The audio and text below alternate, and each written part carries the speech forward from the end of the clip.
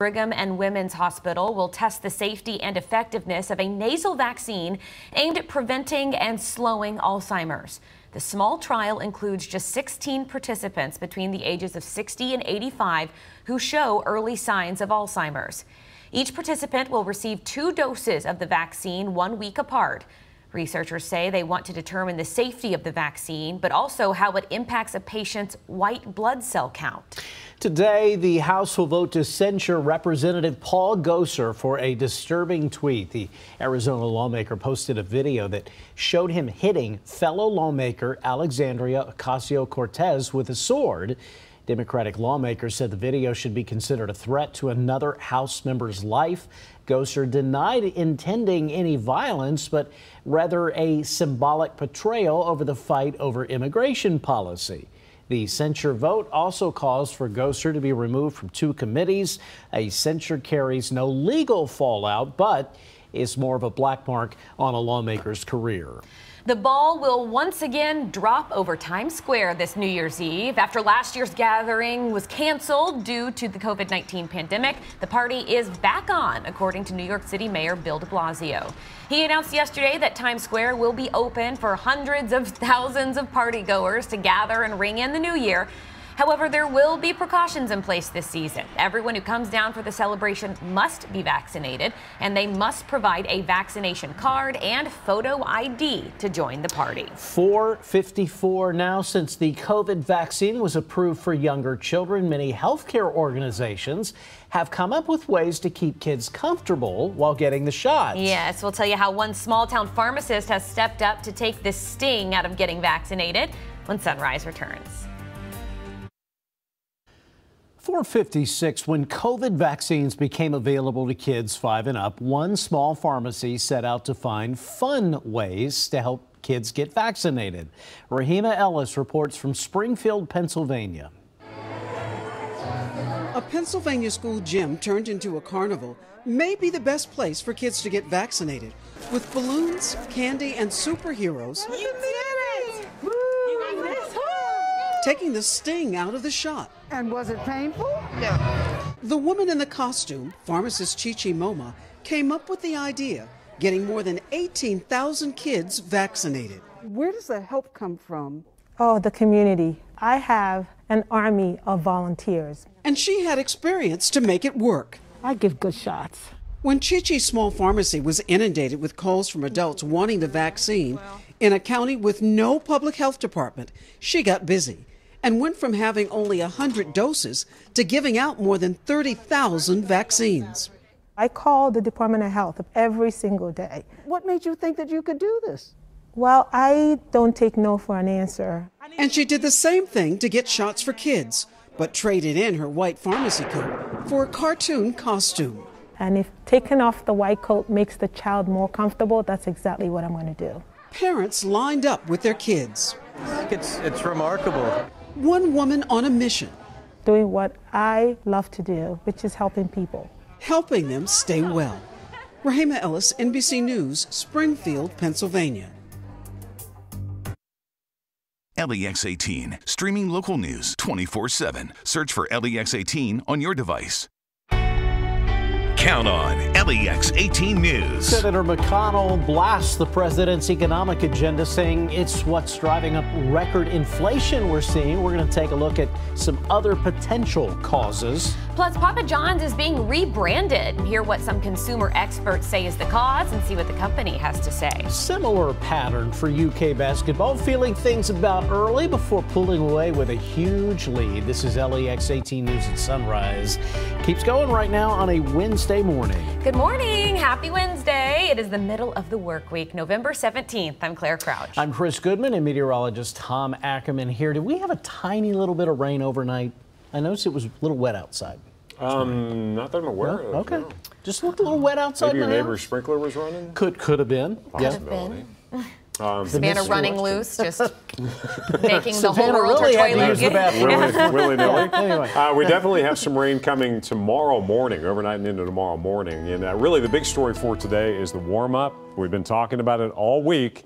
And uh, here is a look outside at the moment. Nothing doing via our 21C museum camera. live camera and the Max Track showing uh, clean sweep out there. So as far as today is concerned, there are two stories really. It's going to be the warm up. We should see highs way above average, around 70 degrees. Uh, time of the year, we're nowhere near that, uh, usually much, much cooler down in the 50s. But also, we're going to have a really gusty southwesterly wind. So, if you're going to be out trying to rake leaves like I will be today, you're going to be fighting a 25, 35 mile per hour wind gust at times. And here are the showers that are lining up that will eventually get to us overnight and into tomorrow morning. We are in the upper 50s to low 60s. It is mild out there. Gusty and warmer midweek, those showers Thursday, and then a big chill to start the weekend off. Temperatures tanking after that front goes through tomorrow morning. We'll talk about how chilly it stays over the weekend and cover much more coming up in your eight day forecast. All right, Tom, thank you. It is 502. All adults may soon become eligible for the Pfizer COVID booster vaccine. Officials say the FDA could authorize Pfizer BioNTech's COVID 19 booster shot for all adults within days. In news first reported by the New York Times, the FDA's action could come by tomorrow, maybe Friday. That is when the CDC's Vaccine Advisory Committee is scheduled to meet to discuss boosters. Pfizer requested emergency use authorization for the COVID booster last week, stating the results of their phase three clinical trial showed the third dose to be safe and effective. Currently, Pfizer's booster shot is authorized for those over the age of 65, those living in long term care facilities, and for people ages 18 to 64 who have underlying health conditions or who are at higher risk because of their jobs. If approved, all adults would be able to get the Pfizer COVID booster six months after their second injection. Here at home, some animal shelters in Kentucky are seeing high numbers of intakes in 2021 compared to previous years. According to shelter workers, many spay and neuter clinics were shut down during a portion of 2020. And because of this, shelters are seeing an overload of new litters of puppies and kittens. Some shelters desperately need homes for foster animals and ask anyone who could keep a litter of kittens or puppies to contact their local shelter and offer assistance if possible. Senator Mitch McConnell says that inflation is without a doubt the number one issue in the country right now. Speaking in Washington, D.C. yesterday, the Senate Minority Leader cited a statistic saying that more than 90% of Americans are either extremely or somewhat concerned about inflation. Several explanations have been offered for increasing inflation, including pent up demand, overwhelmed supply chains, and federal government stimulus spending, all of which are connected to the COVID 19 pandemic. Meanwhile, Senator McConnell continues to criticize the economic policies of the Biden administration. We already know that uh, some of the most reputable economists in the country have said that the bill that passed back in March is the principal reason for the raging inflation that we have. And now we have reputable economists who actually support BBB, liberal leaning economists, who say that if BBB passes, it will only exacerbate, only make worse inflation, not only this year, but next year. The Consumer Price Index surged 6.2% from a year ago in October, the most since December 1990, according to CNBC. President Joe Biden traveled to New Hampshire yesterday to sell his new infrastructure law. The backdrop of his speech was a structurally deficient bridge. Kaitlan Collins has more. President Biden taking his sales pitch to New Hampshire. We now rank 13th in the world in terms of infrastructure. Well, we're about to turn things around in a big way. Biden visiting a dilapidated bridge that will benefit from the trillion dollar infrastructure bill he signed into law on Monday. When you see these projects start in your hometowns, I want you to feel what I feel pride. Pride of what we can do together as the United States of America. The win comes at a critical time for Biden, who is facing the lowest poll numbers of his presidency. People were rightly frustrated that it took longer than it should have to get this bill passed. In Washington, House Democrats are hoping to advance the second part of Biden's economic agenda this week. There's more to come and so happy that hopefully this week we will be passing Build Back Better. But major divisions remain between moderates and progressives over how to put the social spending plan, which ranges from child care to climate change, into law. You have to have faith in the other side that they're they're negotiating in good faith. I think we have some money in the bank now from the infrastructure bill, and we got to take it to other issues. Fearful of making inflation worse with more federal spending, Senator Joe Manchin has pushed to delay the bill, telling CNN he has, quote, a lot of concerns about voting on it before Christmas. I hear it when I go to the grocery store or if I go to the gas station. They say, Are you as mad as I am? And I says, Absolutely. Party leaders are pushing back and blaming Republicans. Want to fight inflation? Support Build Back Better. Republicans, on the other hand, think inflation is, quote, a gold mine, unquote, for them and are rooting for prices to go up. And that was Kaitlan Collins reporting. It's 507 now. Papa John's is getting a makeover. Some advertising for the new brand of the pizza chain, founded in Metro Louisville, is dropping the word pizza. The logo also no longer has an apostrophe after John. Business experts say that could be perceived as a way to put more space between the restaurant chain and its founder and former CEO, John Schnatter. Company execs say the new font is actually inspired by Papa John's stretchy pizza dough. The colors reflect key ingredients like red for tomato and green for basil. You'll also see the new logo inside the stores, along with changes to make it easier for self service checkout at pickup counters. UK basketball posts another dominant victory, running away with an 80 55 victory against Mount St. Mary's in Rupp Arena, leading 38 27 at halftime.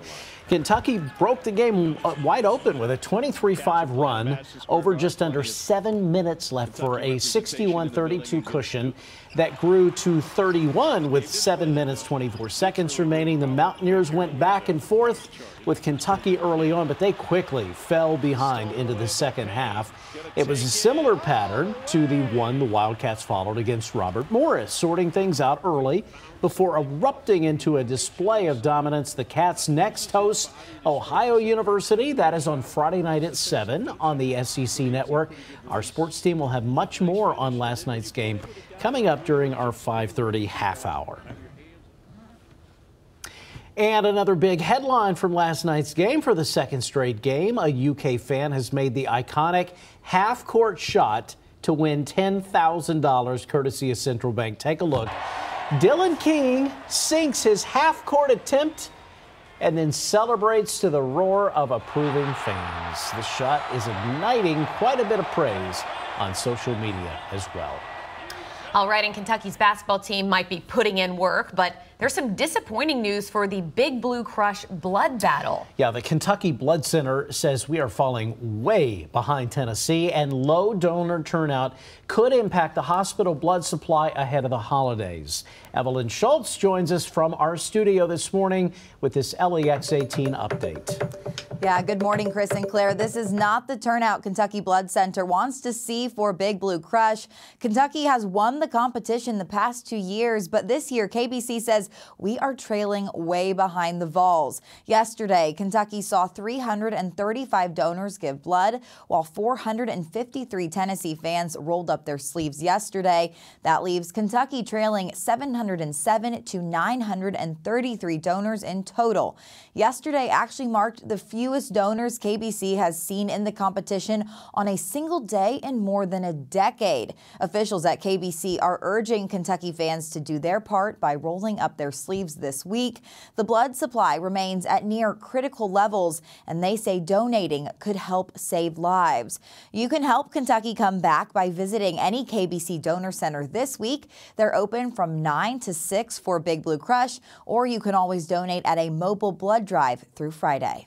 All right, and Evelyn, why does the Kentucky Blood Center say donating blood is so important? Claire, this is an impressive number I saw this morning. KBC says more than 200,000 lives are saved in the Commonwealth each year, all because of blood donation. Officials tell LEX 18 they transfuse an average of 270 pints each day at local hospitals.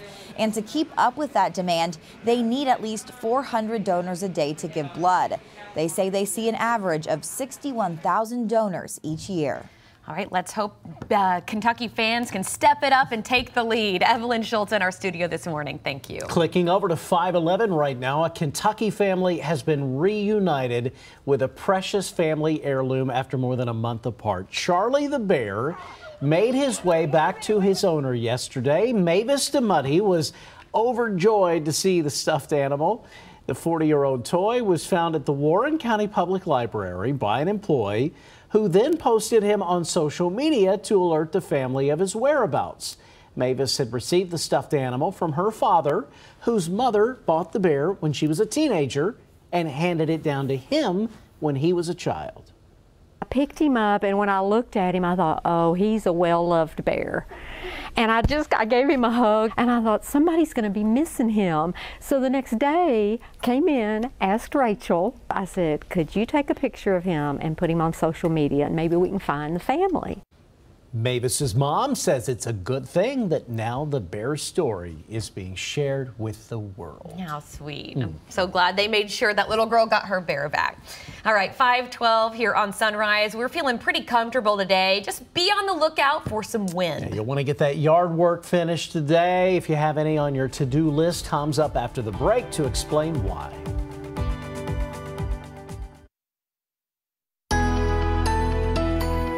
Looking good out there early this morning, and we have got a warm day on the way. This is downtown from our St. Joseph Hospital live camera. Max Track will light up tomorrow morning, but at the moment there isn't anything anywhere near us. So we are dry today. We're going to be windy, gusty at times, and really, really warm for this time of the year.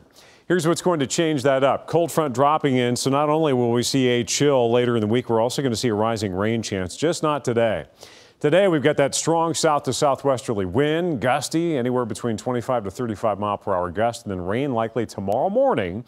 That rain will track east and then eventually out of here. And notice how those clouds are clearing out into late Thursday and early Friday morning. That'll set us up for clear skies and a very cold night with lows down in the 20s as high pressure ridges in from out west and a chilly start to the weekend. Friday's high is probably only going to be in the 40s. Rainfall anywhere from about a quarter to a a half an inch of rain as that wave blows through tomorrow. Uh, tomorrow could be some isolated spots a little bit higher. And look at the temperatures at the moment. We're already in the upper 50s, around 60. We're shooting for about a 70 degree high today, so well above average warmth. But here comes that cold front, and here comes the below normal stuff that we've become accustomed to. And watch what happens. We just keep getting recurring shots of it. That's the weekend. This is an early next week, another wave toward the middle of next week, and then another potential wave following it up for the weekend. So we're not going to catch much of a break. And as far as that cold is concerned, the low temperature trend early Friday morning, we're going to be down in the mid 20s. So if you are out early for the November full moon, Friday, November 19th, it's officially full at 3:57 in the morning. It's going to be a cold one. Uh, a lot of beaver trapping traditionally at this time of the year, so this month's nickname is the uh, the beaver moon. But also a point of interest. Uh, there's going to be a partial lunar eclipse, and this is uh, the longest one that we've had in almost 580 years. In totality, it's going to be about three and a half hours long. And at its maximum, it's going to be about 97% eclipse. So not a full lunar eclipse, but almost there. And you notice the time, if you want to get out and watch it, uh, you know, it's going to be a full moon and we're going to have that 402 maximum eclipse there. So it's early in the morning, which means you're going to be cold if you're out there checking it out. So from about 2 in the morning uh, till just before 6 is the rough time frame for that. 70 for the high today, gusty and warm, partly to mostly sunny. It is going to be a beautiful, just unusually warm day out there, a balmy day for November. Showers likely overnight. That rain kicks in. It will diminish Thursday afternoon, and then Friday we start the weekend off with sunshine, but it is chilly. Highs in the 40s. We'll edge our way back into the low 50s and then have another round coming in. Monday could be pretty miserable. Temperatures in the 40s, rain chances out there with lows in the mid 30s. Could be a hint of a wintry mix early Monday morning. We'll have to keep an eye on that as well. Welcome back here at 519 on Sunrise. It's time for Consumer Watch. Treasury Secretary Janet Yellen now says the U.S. government could reach its debt limit by the middle of next month. Yellen estimates the government will run out of money on December 15th, an extension from the previous deadline of December 3rd. She sent a letter outlining her thoughts on the matter to House Speaker Nancy Pelosi on Tuesday. Yellen wrote in part that the Treasury Department might not have enough resources to continue financing government operations past the middle of December. Baby formula might be harder to find in stores. Walgreens reports the demand for infant formula is increasing nationwide at the same time its suppliers are struggling to restock shelves. The Infant Nutrition Council of America says its members are working with distributors, retailers, and state agencies on innovative ways to ensure availability of infant formula. KFC wants its customers to ditch the drive through. The Kentucky based chicken chain is providing an alternative that it believes may be more efficient. It's called Quick Pickup, and it works like this you order ahead on the KFC app or website, drive to the location, and park in a dedicated spot. Then you just stroll in, snag your food off a shelf by the register. The chain is offering free large fries with a $5 purchase if they are picked up at a quick pickup. The second trailer for the newest Spider Man film has been released. The Spider Man No Way Home trailer confirms appearances from villains from past movies, including Electro, the Green Goblin, and Dr. Octopus. Tom Holland returns as Spider Man. There is speculation that previous Spider Men, Tobey Maguire and Andrew Garfield, will appear in this movie as well, but there was no sight of them in the trailers. Spider Man No Way Home releases in theaters only on December the 17th. Spider Man. Spider Man. I like that. All right, it's 521 here on Sunrise. From a superhero with spider abilities to an actual super-sized spider. Yeah, it feels weird to say this to viewers, but if you have arachnophobia or the fear of spiders, you might want to step away from your TV for just a bit. We are getting a look at a mega spider out of Australia when we check out what's trending next. Hey, we're back. 524. Time to cover some trending stories on this Wednesday morning. A bear that spent almost a month with a plastic jar on its head oh, has been freed. Oh, blessed little heart. The 250 pound female bear was spotted wandering around Collier County, Florida twice. Initial efforts to trap the bear weren't successful, and it wasn't seen again for three weeks when someone spotted the animal on a security camera. Oh. I know, this is sad. Officials then set new traps and included night patrols in order to trap the bear and remove the container which authorities believe was part of an automatic pet feeder. So seems like she uh, found a nice little treat, but didn't uh-huh. expect that it was going to be so difficult to get out of. Staff members were able to clean a neck injury caused by the container, and the bear was released. There she goes, back into the wild. Didn't even realize just how grateful she would be. That's that. right. Now she's free again. Yeah. the massive spider with fangs you are about to see is the stuff of nightmares. Yeah, fair warning if spiders creep you out, you might want to look away briefly. It's called a funnel web spider, nicknamed Mega Spider. Ooh a reptile park Ooh. in Australia, says this one is the biggest of its kind. It's hairy, it's dark in color, and measures eight centimeters from foot to foot. But the real threat from this guy is its nearly inch long fangs, oh, no. which are sharp enough and strong enough to pierce a human fingernail. Well, you're really selling it. I know. it was donated anonymously to an anti-venom program in Australia. The Australian go. Reptile Park says mega spiders' fangs will be milked for venom that can be turned into anti-venom. They're, they're putting a call out. They're wanting more people to donate some of these mega spiders because they think that they're going to be able to, you know, make some anti-venom that's going to save Imagine being the person that has to milk the spider. I know, like exactly how does that work? Like, no, I don't think I want to know. oh wow! What, what, do you do for a living? A very delicate I'm a spider, spider milker. milker. I milk spiders. A uh, Thanksgiving tradition is still going strong for two former strangers who met in 2016 after an accidental dinner invitation. Uh, this is just the story that never gets old. Wanda Dench thought she was sending a text with a dinner invite to her grandson. Turns out he had changed his number. Jamal Hinton got the message instead. The two figured out the mistake, then sent selfies to each other, and that's when Hinton asked if he could still come over to her home in Mesa, Arizona. and Dench replied saying, Of course you can. That's what grandmas do, feed everyone. And that started the holiday tradition, which is now in its sixth year. Hinton has documented the holiday each year on social media, and they've just got this bond now. And I think I remember last year, I believe her husband passed away I from COVID. I was going to say, I yeah. remember something about that, yes. And so it's special that they can continue oh. this, you know, because I'm sure this holiday might be an extra tough. Tough Yeah, for her. so I'm Yeah, glad they're still doing it and making it happen. 527 now here as sunrise continues today the perfect day to tell someone to take a hike Yeah. because it's national take a hike day Oh, well, that's less fun. How you can celebrate coming up. Tom, Well, we have ideal weather for You can hike? take a hike and tell somebody to take a hike at the same Yeah. time. Uh, the only drawback could be gusty wind. We'll talk about where we're headed coming up. On LEX 18 News. Approval for all adults for the Pfizer COVID booster could come within days. What the governor says this could mean for Kentuckians. Plus, we continue our spotlight on Danville as we dive into the history of the town known as the birthplace of Kentucky. And New Year's Eve partiers will be allowed back in Times Square this year, but we'll tell you what they need to have to watch the ball drop. LEX 18 News at Sunrise continues right now at 5:30. Well, they need party favors. That's they right. Need those, what do you call those blowy things? Woo! Noisemakers? Noisemakers.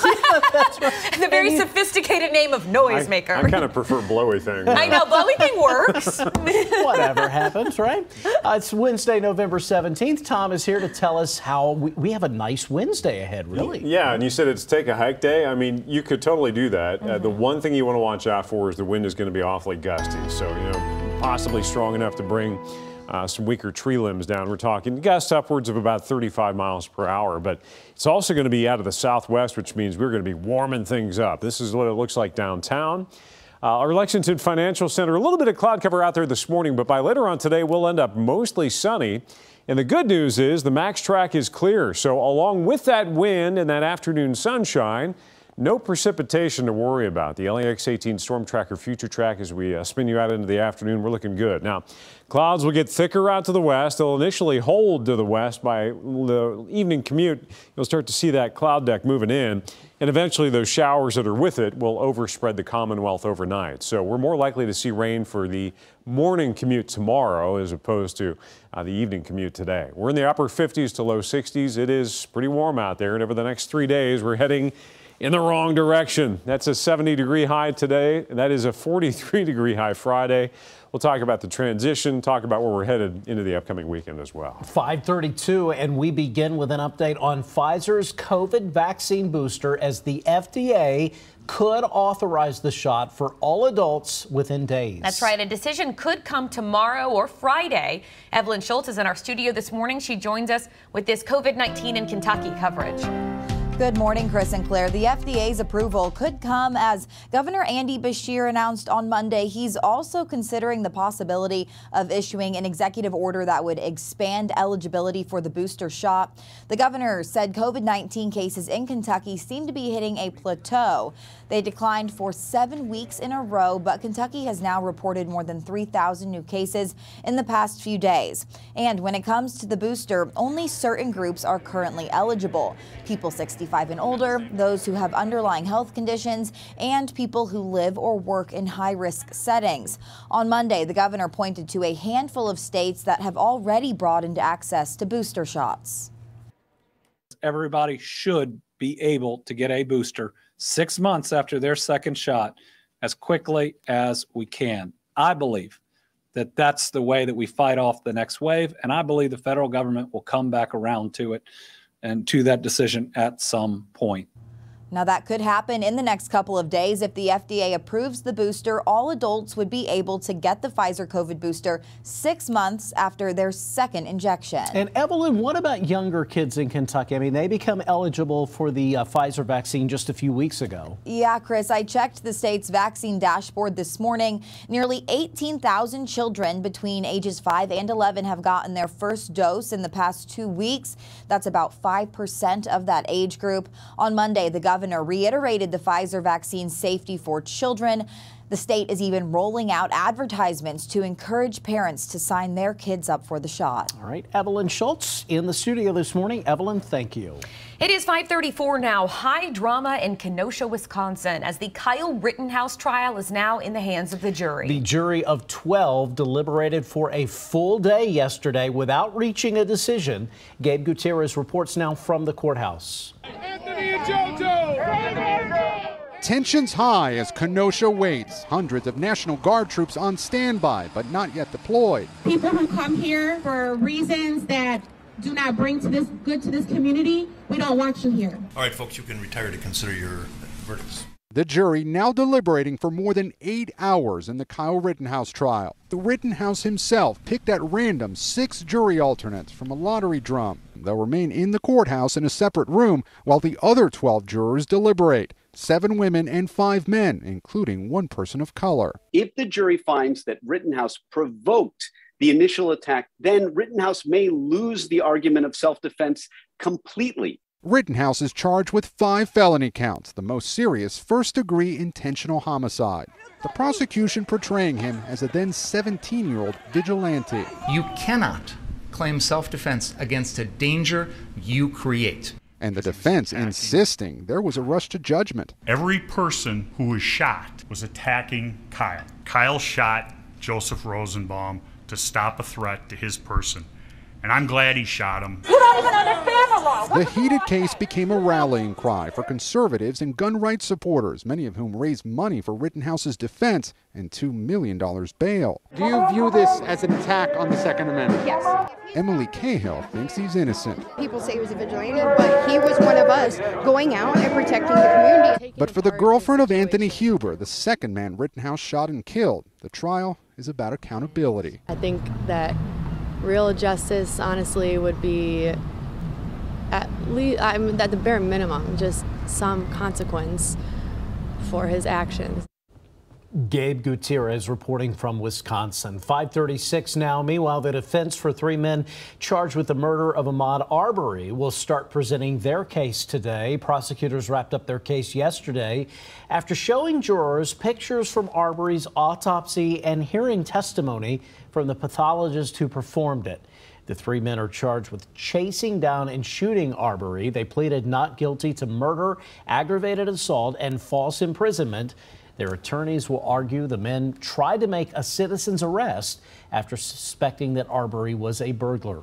The ball will once again drop over Times Square this New Year's Eve. After last year's gathering was canceled due to the COVID 19 pandemic, the party is back on, according to New York City Mayor Bill de Blasio. He announced yesterday that Times Square will be open for hundreds of thousands of partygoers to gather and ring in the new year. However, there will be precautions in place this season. Everyone who comes down for the celebration must be vaccinated, and they must provide a vaccination card and photo ID to join the party. 537, although the UK basketball team has put in another powerful performance, UK fans continue to lag behind for the second day of the Big Blue Crush blood battle. The Kentucky Blood Center has fallen even further behind in its competition with Medic Regional Blood Center and Tennessee fans. Kentucky saw 335 donors giving blood, while 453 Tennessee fans rolled up their sleeves yesterday.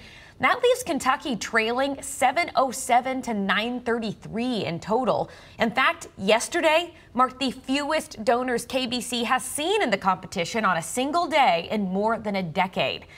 Officials at the KBC continue to urge Kentucky fans to do their part by rolling up their sleeves, reminding the public that the blood supply remains at near critical levels and that donating could help save lives. It is 538 and we are continuing our spotlight on Danville. That's right. And today we are focusing on the history of the town known as the birthplace of Kentucky. Danville, Kentucky is the site where Kentucky became the 15th state in the Union. The first state funded school for the deaf was established and where the first abdominal surgery in the world took place. But the community is also making sure to highlight forgotten stories, like the urban renewal that destroyed a predominantly black business district in the 1960s. They said that um, white folks would not come to Danville to visit because of the Second Street. So there, there was a plan to get rid of it, and that's what they did. Urban Renewal came in with a plan telling people that they was going to uh, renovate the buildings and uh, sell them back to the black folks and so they could maintain the business. But that didn't happen. They sold it to the state, and the state sold it to the city. And now you see the park as it looks now. And you can learn much more with Christiana Ford tonight at 6 o'clock on LEX 18 News. 539, if someone tells you to take a hike today, well, it's okay because today is National Take a Hike Day. There are more than 60,000 trails in the U.S. National Trail System. Some of them are almost 200 years old and track the footsteps of explorers like Lewis and Clark. Hiking is great exercise, can burn up to 550 calories per hour. Some hiking and walking options in or near Lexington include Raven Run Nature Sanctuary, McConnell Springs, the Legacy Trail, the UK Arboretum, Veterans Park, Jacobson Park, the Pinnacles, the Jessamine Creek Gorge Trail, or the Red River Gorge and Natural Bridge if you want to venture a little further out. Just always check ahead of time to ensure the hiking location you're heading to is open. 540 now here on LEX 18 News at Sunrise. Here's a look at lottery jackpots. Friday's Kentucky Mega Millions jackpot is $74 million. And tonight's Kentucky Powerball jackpot amount is $190 million. Warm but windy. That's the best way we can describe today's weather. Stick around to see Tom's forecast coming up after the break. And after that, we're going to see some of the big numbers the Wildcats put up in last night's slam dunk performance in Rupp Arena. Eli Gain and Josh Berrien and have details.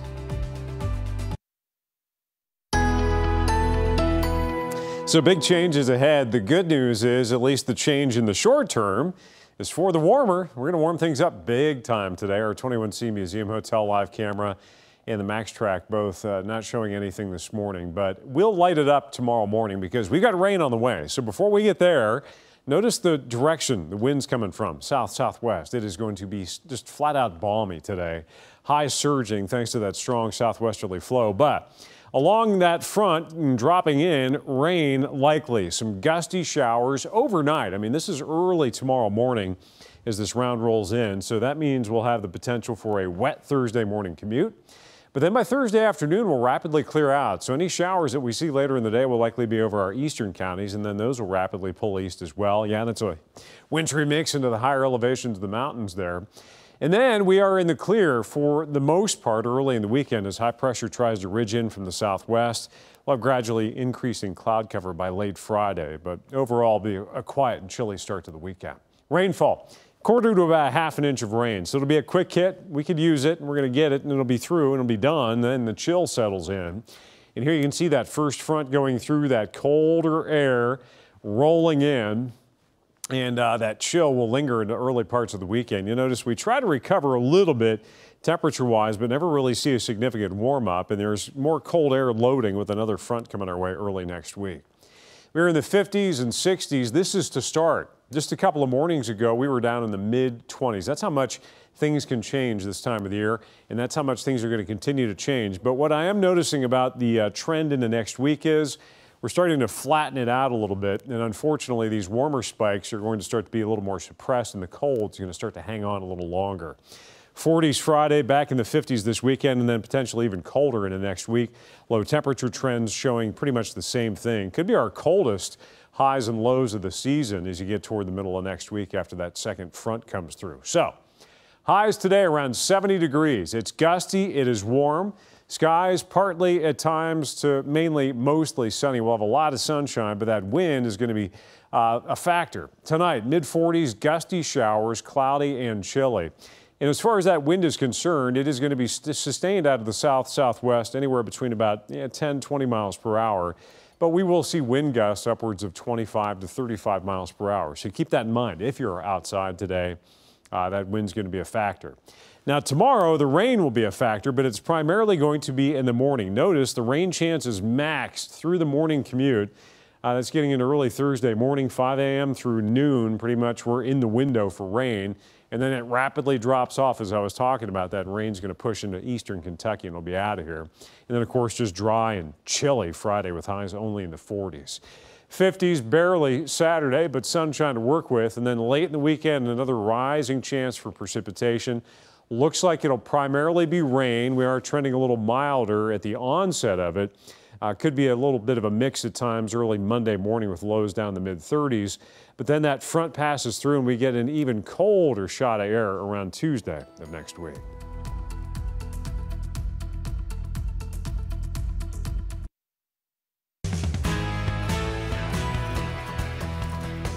Oscar Tshiebwe and Sahvir Wheeler could have some of the most impact seasons in UK history after their starts with the Wildcats to this season. Kentucky back at home last night, facing Mount St. Mary's, all Big O in the opening half, even showing a little mid-range jumper Team has been harping his shooting skills, and he put it to use last night.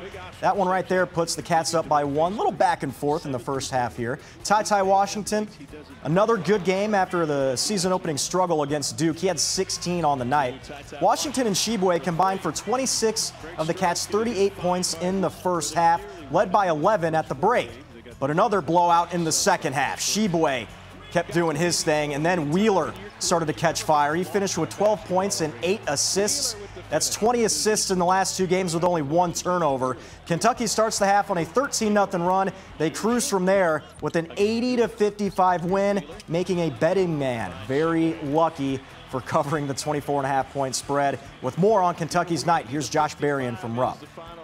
Eli, my ears are ringing right now. If I have to hear basket by Tshiebwe one more time, I'm going to lose it. No, but seriously, it's pretty obvious at this point who UK's most valuable player is. For the third straight game, Oscar Tshiebwe recorded a double-double, a career-high 24 points, 16 boards. He's the first UK player to start his career with three straight double-doubles since Julius Randle did it back in 2013. I mean, he's a beast in the paint, but today he killed his competition with his mid-range game in the 80-55 victory. In practice, when we're doing our five-minute shooting drill, he make, he makes anywhere from 72 to 84 every time. So it's like we're all encouraging him to shoot that shot. Every single coach is telling him, you know, you got to take more jumpers so the def- uh, defense can respect you. But coach said, if you're not taking those in the game, we're gonna run we're gonna run. So all my teammates, they were like, every time they give it to me, you can't even scream, you can hear them scream, shoot it, shoot it, shoot it. So I just catch it and shoot. 53 points, 56 rebounds, and eight blocks in three games. When asked if we should start calling him a machine because that's what Coach K referred him to because of his play, Oscar said, you're gonna have to take that up with God because I get my strength from him.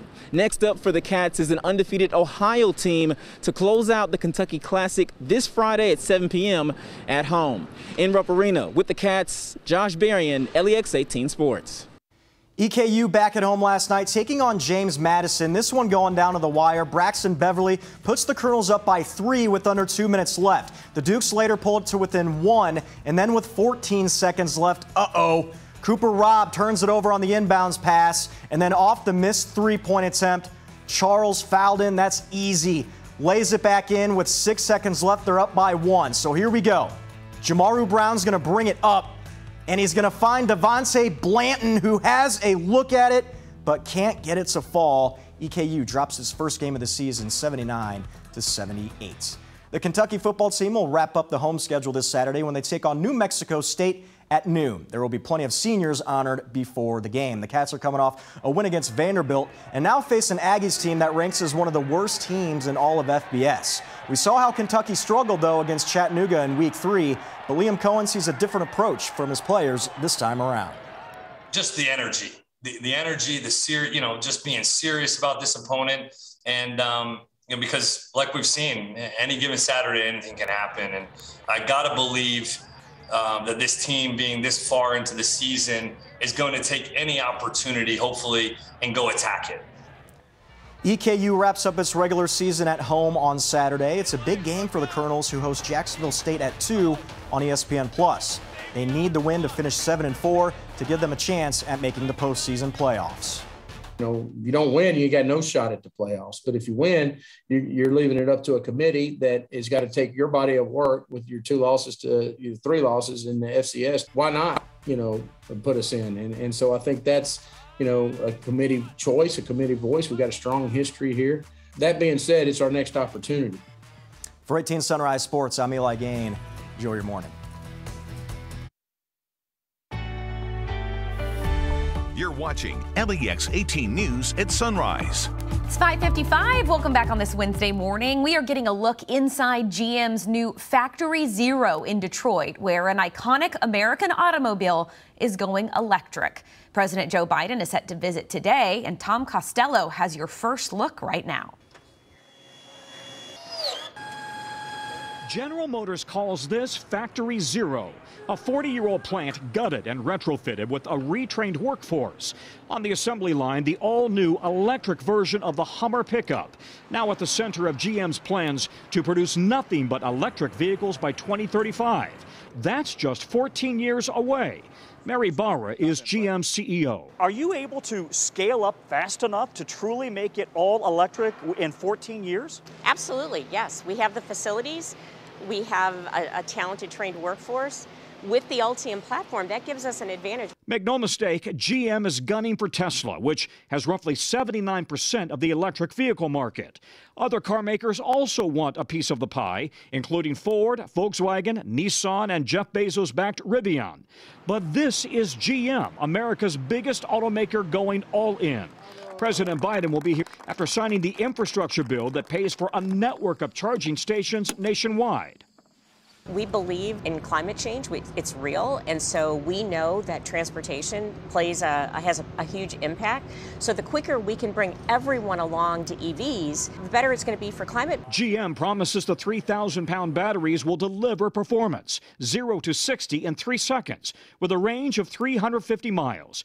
And just like Ford's new electric F-150, customer demand for a powerful EV truck is strong. The first electric Hummer hasn't even rolled off the assembly line, but 10,000 people have pre ordered the vehicle. First deliveries by the end of the year. Meanwhile, like most automakers, GM has also been caught in the global supply chain slowdown. While it's now reopening the factories forced to temporarily close, a shortage of computer chips used in every car and truck may take months to resolve. Many of those chips come from Taiwan, now the focus of tension between the U.S. and China, making it a top concern for the head of GM. You need that Taiwan connection like many companies do. Well, and yeah, and we have, again, we have um, semiconductors coming from many different countries across the globe. And so making sure that we have uh, enough supply is our first issue, and then that, that there's not going to be other issues that impact that, of course, is something we look at. The country's biggest automaker plotting a green future amid ever changing global challenges. Tom Costello, NBC News, Detroit. All right, it's 557. We've got a brand new half hour of sunrise for you straight ahead. Some key decisions regarding Pfizer COVID boosters for all adults could come this week. We've got a preview of that. Plus, today is a perfect chance to finish those outdoor chores. We are back right after this break.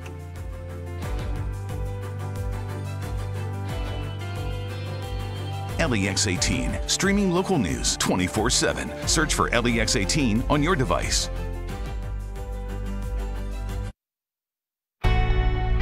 Count on LEX 18 News. Right now at 6, there's a push by Pfizer to make their COVID 19 booster shot available to any adult who wants one. A look at the timeline for approval. Plus, actor and Kentucky native George Clooney sharing his thoughts about the tragic shooting on the set of the film Rust. And how Kentucky fans are faring in the Big Blue Crush blood donation battle against Tennessee fans. A brand new half hour of sunrise starts right now on your Wednesday. 6 o'clock on the dot, November 17th. Thanks for waking up with us. I'm Claire Crouch. I'm Chris Goodman, meteorologist Tom Ackerman here. One word we're probably not going to hear a lot this winter is balmy, but uh, that's an no. adjective you can describe the weather for today, right? Yeah, it does happen this time of the year. The problem is you get these warm spikes, you, you know what's coming. I know. Oh, sure. Makes me nervous. And it's not warm. Uh, let's show you what's going on out there and uh, get a quick check of the current conditions uh, which are, you know, fairly tranquil. That's a live view from atop the Lexington Financial Center. That's the Max Track. This is the future track, our computer model. And notice the, well, number one, lack of cloud cover, but also this southerly wind. You see these little red arrows, an indication of the wind flow at the surface. It's coming from a, a warm direction, south to southwesterly flow. It's going to crank those highs up to probably around 70 degrees today. But you can also see cloud cover and moisture on the rise back to the west. This is gathering along a cold front that's going to pass through overnight into tomorrow morning. So we've got a really good chance to see rain tomorrow, not today. Uh, mainly for the morning commute. We'll talk about the timing of all that here shortly. But we're already in the upper 50s. It's still in the low to mid 60s west, so it is mild this morning, and it is going to be, as Chris was saying, balmy today. Balmy, you typically say it when it's warm and it's windy, and we're going to have both. Highs around 70 degrees. Our record high in Lexington is 80 today, so we're only 10 degrees off of that. Uh, clearly, things are about to get chillier. We'll talk about the cool down and the eight day coming up. All right, it is coming up on 602. There is a push by Pfizer to make its COVID 19 booster shot available to any adult who wants one. That's right. The FDA is considering the company's request to amend its emergency use authorization. One, one FDA director says it's the highest priority if the FDA greenlights the exchange. The next step would require the CDC director to sign off on it. A CDC spokesperson says they will meet on Friday to discuss expanding booster eligibility. Some states and cities with COVID 19 cases on the rise have already opened up booster shots to vaccinated adults. And we're continuing the conversation about the COVID booster shot this morning, and we want to hear from you. This morning, we are asking would the FDA's expanded approval encourage you to get a booster shot? All you have to do to take part is scan the QR code on the screen right now or log on to lex18.com slash vote now. We are going to be checking in throughout the morning and we will have final results coming up at the end of the show. Earlier this week, Governor Andy Beshear said state health officials believe new COVID-19 case statistics have plateaued. But some of the state's most updated coronavirus figures do show an increase. So this morning, we are going in depth on Kentucky's fight against COVID-19. This is Kentucky's most recent COVID 19 figures. Yesterday, the state reported over 1,800 new virus cases. This is double the amount reported the day before. Also, 38 more Kentuckians have died from the virus. That's also an increase, as there were 10 deaths confirmed on Monday. However, the state's positivity rate did not change. It currently sits at 5.73%. And another aspect of our data seeing fluctuations is our COVID 19 current incidence rate map. Out of Kentucky's 120 counties, approximately 64 are in the red zone. That means the incidence rate for every county is in the highest category per 100,000 people. There are about 50 counties in the second worst zone, orange. This is an increase from Monday by two, but the amount of yellow zone counties decreased to four. They are Hickman, Lee, Owsley, and Wayne counties. And we want to remind Lexingtonians about a free Moderna COVID 19 booster clinic happening today. The Lexington Fayette County Health Department is holding the clinic, but all available appointments are filled. Today's clinic is from 2 to 6 p.m. at Consolidated Baptist Church on Russell Cave Road. However, walk ins will not be accepted. No other vaccines will be given at this clinic. To see when other vaccine clinics will be held, you can check out the health department's website. We're going to pop that address up on your screen. There it is, lfchd.org. It is 6.04 now. Kentucky's basketball team might be putting in work, but there's some disappointing news for the Big Blue Crush blood battle. Yeah, the Kentucky Blood Center says we are falling way behind Tennessee, and low donor turnout could impact the hospital blood supply ahead of the holidays. Evelyn Schultz in our studio this morning with this LEX 18 update. Good morning to you, Chris and Claire. This is not the turnout Kentucky Blood Center wants to see for Big Blue Crush. Kentucky has won the competition the past two years, but this year KBC says we are trailing way behind the Vols. Yesterday, Kentucky saw 335 donors give blood, while 453 Tennessee fans rolled up their sleeves. That leaves Kentucky trailing 707 donors to 933 donors in total. Yesterday actually marked the fewest donors KBC has seen in the competition on a single day in more than a decade. So officials at KBC are urging Kentucky fans to do their part by rolling up their sleeves this week. The blood supply remains at near critical levels. They say donating can help save lives. You can help Kentucky make a comeback by visiting any KBC donor center this week. They're open from 9 to 6 for Big Blue Crush. You can also donate at a mobile blood drive through Friday. And now, Evelyn, why does the Kentucky Blood Center say donating blood is so important? Yeah, Claire, I just learned this this morning. It's an impressive number. KBC says more than 200,000 lives are saved in the state each year, all because of blood donation. Officials tell LEX 18 they transfuse an average of 270 pints each day at local hospitals. To keep up with that demand, they need at least 400 donors a day to give blood. They tell us they see an average of 61,000 donors each year. Schultz in our studio this morning. Evelyn, thank you. Coming up on 607, actor and Kentucky native George Clooney is sharing his thoughts about the tragic shooting on the set of the film Rust. The shooting made national headlines as Alec Baldwin accidentally shot a prop gun that had a suspected live round inside. The film's director of photography died. Another person was hurt. On the week of the shooting, Clooney made a guest appearance on a podcast with Marc Maron. Clooney said every time he handles a gun on set, he opens it with crew members and shows the person he is supposed to aim at. They repeat this process for every take. Clooney added he's done this since his friend, actor Brandon Lee, died of an accidental film set shooting back in 1993. Some animal shelters in Kentucky are seeing high numbers of intakes in 2021 compared to previous years. According to shelter workers, many spay and neuter clinics were shut down last year because of the pandemic. Some shelters desperately need homes for foster animals. They are asking anyone who could keep a litter of kittens or puppies to contact their local shelter and offer assistance. 608 this morning, we are celebrating our Spotlight on Danville series by testing your knowledge with a trivia question. I love trivia questions. Play along at home, see if you know the answer to this one. Why is Danville known as the birthplace of the bluegrass? Is it A, it had bluegrass growing? B, it's where Kentucky's first constitution was signed? C, it's where someone first called Kentucky the bluegrass state? Or D, it's where bluegrass music originated. Jot down your answer, save it for later. We're going to give the answer during the next half hour of Sunrise. And we are one day away from an active forecast. Meteorologist Tom Ackerman tracking a cold front that could make tomorrow's commute a rainy one. Yes, we'll tell you what you need to know next. But first, let's get a peek at those lotto jackpots. Friday's Kentucky Mega Millions jackpot amount $74 million. Tonight's Kentucky Powerball jackpot $190 million.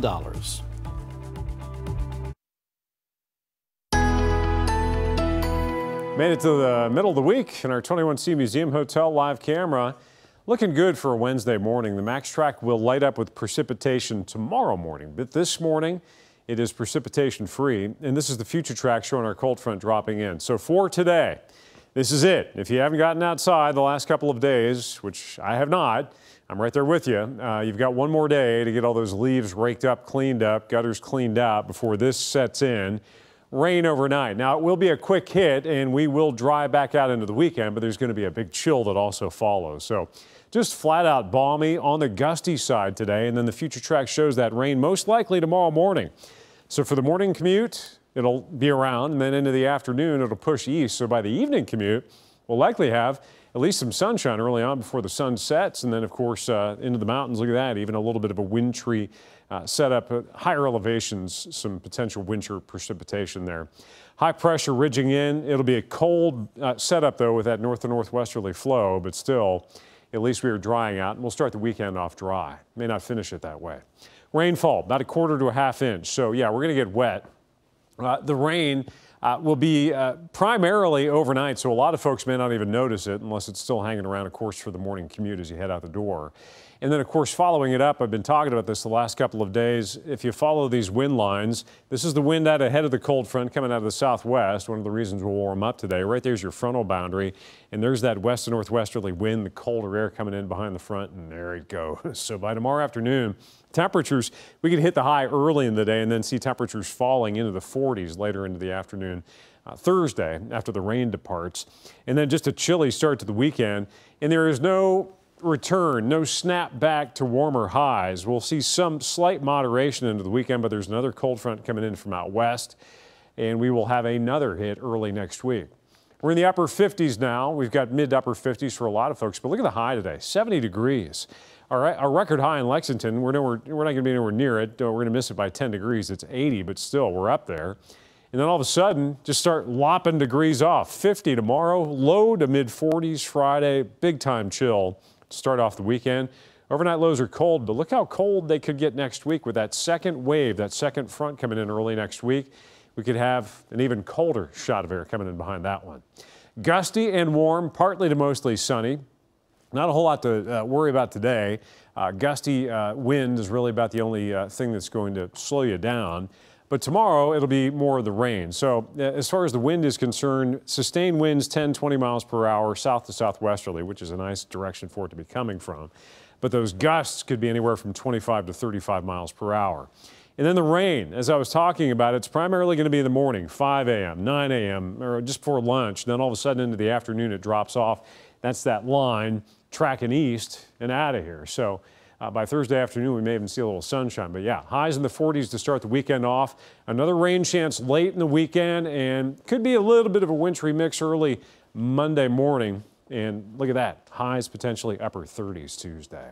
614, check of your top stories. There is a new $750 million lawsuit related to the deadly Astroworld Festival crowd surge. The lawsuit was filed on behalf of at least 125 people and seeks damages for physical and mental health injuries.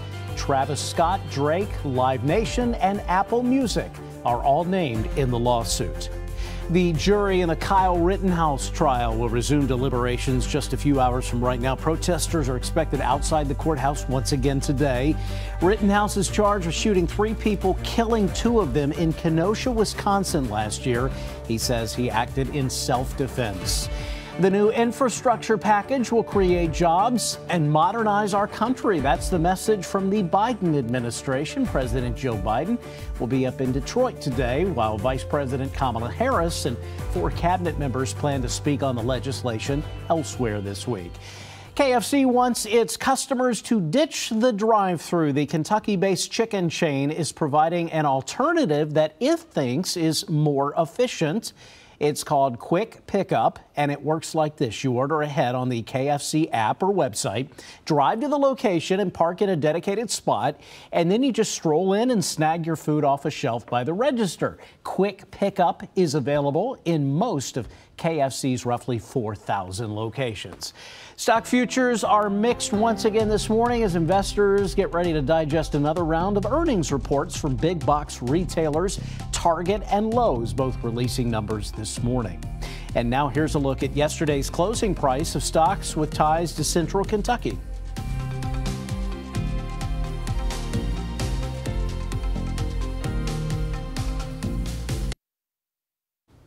We're back here at 618. Thanks for starting your day with us. Kentucky's next legislative session is less than two months away. State social workers rallying on the steps of the Capitol yesterday told LEX 18 they'll be paying attention. They are pushing for a pay increase in the next budget cycle. The state personnel website shows openings for family support specialists pay about $26,000 a year. Because of this and the pandemic, the agency lost approximately 600 employees since the beginning of the year. One social worker said this is causing a strain on remaining workers. It's very emotional because as a supervisor, I'm having to ask people to stay and to know that they're having difficulty taking care of their own families. That um, when we have a shortage of workers, that we're putting our staff in dangerous positions. You just heard from the executive director of the Kentucky chapter of the National Association of Social Workers. She adds that some counties only have one worker, which is causing delays in investigations as well as getting kids in new foster homes. President Joe Biden's infrastructure tour continues today. The president is heading to Detroit to see how the nation's largest automaker is preparing for an electric future. And while back in Washington, Democrats are beginning work on the next plank in his agenda. Chris Pollone is on Capitol Hill now with the latest. Day two of President Biden's infrastructure roadshow visiting this Factory Zero, the center of automaker GM's plans to build nothing but electric vehicles by 2035. The quicker we can bring everyone along to EVs, uh, the better it's going to be for climate. After signing a trillion dollar infrastructure bill Monday, the president is trying to show voters how that spending will affect them. The government now set to fund a network of electric vehicle charging stations across the country.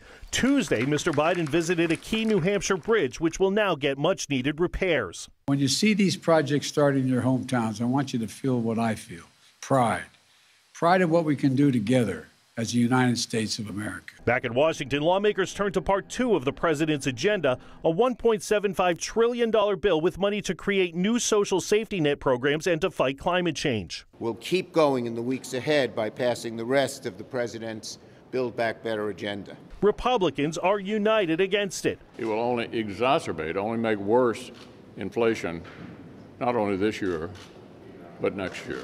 And some Democrats wonder how more spending would affect rising consumer prices. When I hear it when I go to the grocery store or if I go to the gas station, they say, Are you as mad as I am? And I says, Absolutely. Democratic House leadership wants to vote on that spending bill this week, the Senate by Christmas. Chris Pollone, NBC News, Washington. 621 in a little over a week, Americans will sit down with family and friends for a Thanksgiving meal. Straight ahead, Tom will reunite with us to talk about some Turkey Day themed stories. It's two minutes away here on LEX 18 News at Sunrise. 624, Chris, Claire, and Tom checking out some Thanksgiving themed trending stories this morning. And we are in the home stretch as Turkey Day is only eight days away. That's Ooh, crazy. right. I know. Yeah. I, I, I I know. didn't even would- realize I, that. I realized that yesterday, and I'm like, that is Okay. next, Next week. week. Yes. Yeah. And then we're just in the downward slide into 2022. Scary. Okay. Well, new data released from delivery app Shipt details some interesting shopping habits surrounding the holiday. I liked this. Their survey suggests Americans forget to buy cranberries the most while shopping for Thanksgiving at 33%. The least forgotten item. Alcohol mm-hmm. at 14%. Okay, then. I mean, that's not, I would say in my household growing up, that wouldn't have been the number one, but whatever. And I don't know if people are forgetting cranberries. I think they're probably just not getting them. Maybe, maybe. They don't Oh. want them. It's kind of one of those things a lot of people make and then like nobody eats it. Right, Yeah. exactly. I just feel like you have to have it. And then, yeah, most of the time it just gets thrown out. But like, you need it on the table. One in 10 respondents claim to swear off cooking a Thanksgiving meal again because they again. forgot to buy a key ingredient or item.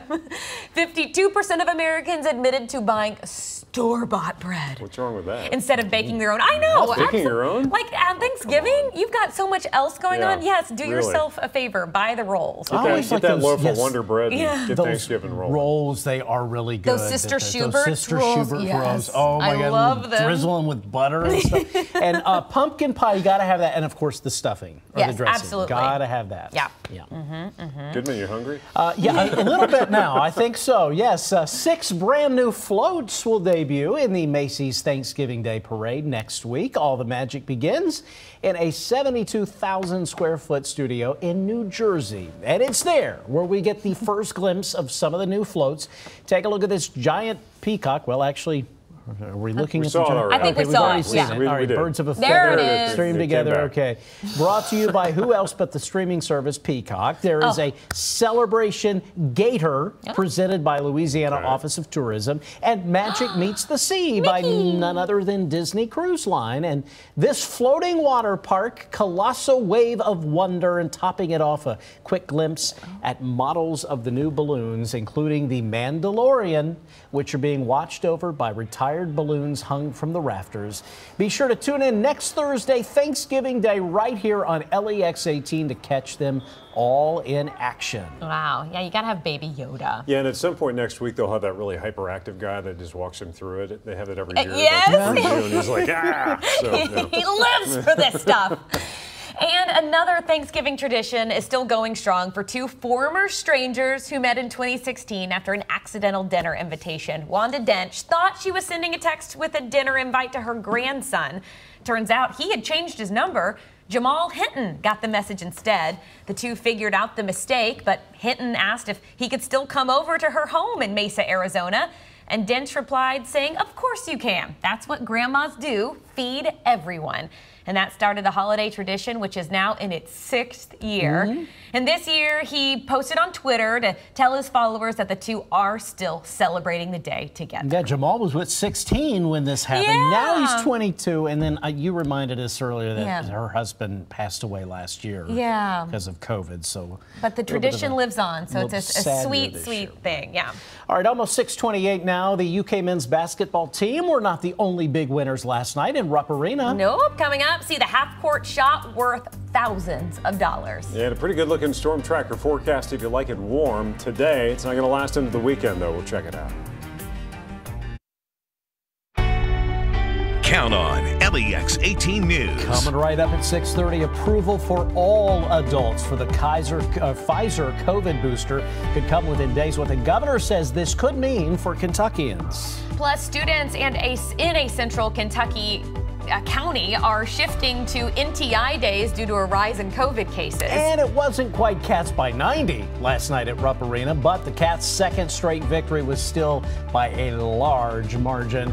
Details and highlights straight ahead on LEX 18 News at Sunrise. Final half hour is going right now here on this Wednesday. Today is November the 17th. That's right, it sure is. And today is the last maybe balmy day for a while. Yeah, you're probably correct about that. Gosh, so okay. take advantage of it. That's all I can say because this what we have today is not going to be happening for the upcoming weekend, unfortunately. And what Claire is talking about is more than likely a high of around 70 degrees. So that's some good stuff, especially this time of the year. But you know, this time of the year, if you're hitting 70, something's going to give, and it does overnight tonight. That's Keeneland. That's 21C Museum Hotel's live uh, camera downtown. That's the Max track. Nothing on it. This is the future track as we go through the afternoon. Sunshine today, hazy sunshine. Clouds gradually building in from out west, but we'll hold them off much of the day. But notice what's going along with that cloud cover. You've got some showers on the move. So we are going to get wet. We'll have a round of gusty showers blowing through overnight tonight. Primarily going to be an impact tomorrow morning. So it could be an issue for your morning commute.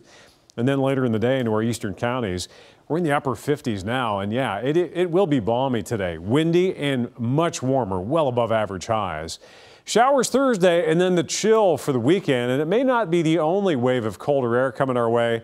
We'll break down the timing, the impact, check out that eight day forecast, your complete storm tracker forecast one more time. 32, we begin this half hour with an update on Pfizer's COVID vaccine booster as the FDA could authorize the shot for all adults within days. A decision could come as early as tomorrow or Friday. Evelyn Schultz is in our studio this morning. She joins us now with this COVID 19 in Kentucky coverage. Chris Claire, good morning to you. The FDA's approval could come as Governor Andy Beshear announced on Monday. He's also considering the possibility of issuing an executive order that would expand eligibility for the booster shot. The governor said COVID 19 cases in K Kentucky seem to be hitting a plateau. They declined for seven weeks in a row. But Kentucky has reported more than 3,000 new cases in the past few days. And currently, when it comes to the booster, only certain groups are eligible people 65 and older, those who have underlying health conditions, and people who live or work in high risk settings. On Monday, the governor pointed to a handful of states that have already broadened access to boosters. Everybody should be able to get a booster six months after their second shot as quickly as we can. I believe that that's the way that we fight off the next wave. And I believe the federal government will come back around to it and to that decision at some point. And like you said, it could come within a few days. If the FDA approves the booster, all adults would be able to get the Pfizer COVID booster six months after their second injection. So, Evelyn, what about younger kids in Kentucky? They become eh, they became eligible for Pfizer's vaccine just a few weeks ago. Yeah, Chris, I checked the state's vaccine dashboard this morning to look at the latest numbers. I learned nearly 18,000 children between the ages 5 and 11 have gotten their first dose in the past two weeks. That's about 5% of that age group. On Monday, the governor reiterated the Pfizer vaccine's safety for kids. The state is even rolling out advertisements to encourage parents to sign their kids up for that shot. Evelyn Schultz reporting live in our studio this morning. Evelyn,